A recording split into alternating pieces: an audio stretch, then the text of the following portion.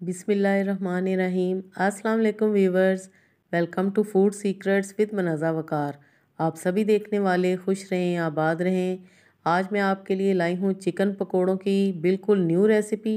Totally different recipe है, बहुत ही crispy पकोड़े बनते हैं और बच्चों, बड़ों सभी को बहुत पसंद आते हैं। तो रेसिपी स्टार्ट करते हैं। वीवर्स यहाँ पर है मेरे पास बोनलेस चिकन, बिल्कुल छोटा छोटा और ये है तकरीबन 300 ग्राम के जितना। थोड़े से चिकन से आप सब के लिए पकोड़े बना सकते हैं। साथ में एक मीडियम साइज़ की प्याज, धनिया और हरी मिर्चें बिल्कुल फाइन सी कटिंग में कटी हुई। मसालों में है मेरे पास वन टीस्पून लाल मिर्च पीसी हुई, वन टीस्पून कुटी हुई लाल मिर्च, वन टीस्पून है सफ़ेद ज़ीरा, वन टीस्पून साबुत धनिया। थोड़ी सी अजवाइन है, थोड़ा सा हल्दी पाउडर है और नमक भी है, तकरीबन वन टीस्पून से थोड़ा सा कम। तो ये सारे मसाले हैं। सबसे पहले हम चिकन को मसाला लगाएँगे। बिल्कुल, मेरी तरह आपने रेसिपी को फॉलो करना है तो देखिएगा कि कितनी ज़बरदस्त ये चिकन पकोड़े तैयार होंगे। चिकन को अच्छी तरह आपने मसाला लगा लेने अभी हमने इसमें बेसन वगैरह कुछ भी शामिल नहीं करना। और अब मैं इसमें शामिल करूँगी थोड़ी सी कसूरी मेथी। ये भी आपने ज़रूर इस तरह हाथों पे मसल के डालनी है। जी तो चिकन मैरिनेट होने के लिए हम तकरीबन दस मिनट छोड़ देंगे। और अब मैं एक लूँगी मिक्सिंग बॉल। मिक्सिंग बाउल में हम चिकन को डालेंगे, क्योंकि वो बाउल छोटा था। अब मैं इसमें डालूँगी प्याज, धनिया और हरी मिर्चें।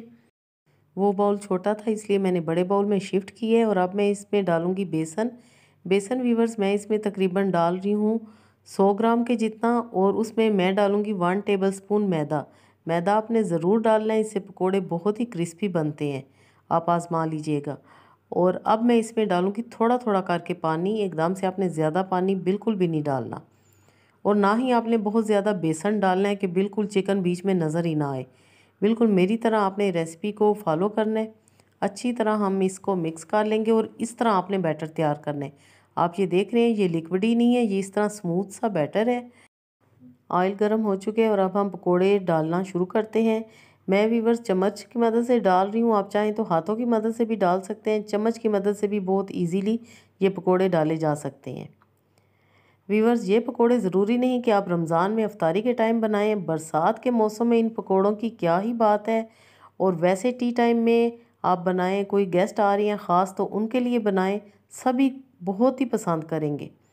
खूबसूरत सा गोल्डन कलर आने पर हम इनको टर्न करेंगे। जी तो रेसिपी अगर आपको पसंद आ रही है तो जल्दी से लाइक कर दें।